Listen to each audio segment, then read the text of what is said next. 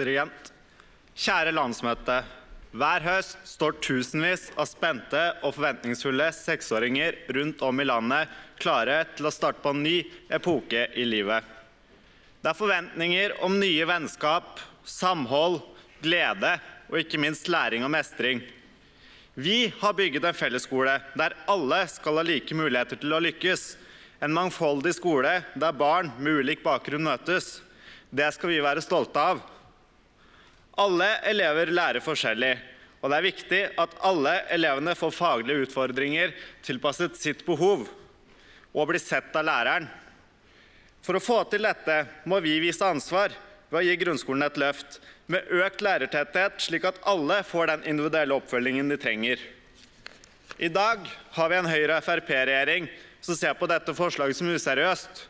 Jeg mener det er useriøst å ikke gi alle barn et likeverdig skoletilbud, der vi også løfter de elevene som ikke er fullt så faglig sterke. Derfor, kjære landsmøte, må vi innføre en nasjonal regel om lærertetthet.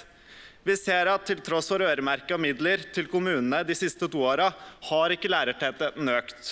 Derfor må vi ta Utdanningsforbundet og Elevorganisasjonens bekymring på alvor og lovfeste en minimumsnorm for lærere på skolenivå. Vi i Vestfold Arbeiderparti er for en lese-, skrive- regnegaranti. Men bør vi sette inn alle ressursene allerede etter andre klasse? Barns kognitive utvikling har en stor variasjon i tidlig alder.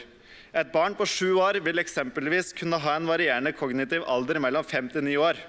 Det vil være feil bruk av ressurser å innføre en garanti for lese, skrive og regne hos barn som ikke er utviklet nok til å kunne motta denne kunnskapen. Dersom garantien settes til fjerde trinn, vil vi i større grad sikre at vi bruker ressursene på barn som faktisk vil ha utbytte av denne ekstra innsatsen for å nå målet innen lesing, skriving og regning. Kjære partifeller, vi står foran et viktig stortingsvalg. La oss sammen sørge for at våre etterkommere får en god grunnskole med riktig oppfølging og god lærertetthet, slik at fundamentet for videre skolegang blir så sterkt som mulig. Sammen er vi sterke, og sammen skal vi vinne valget. Takk for meg.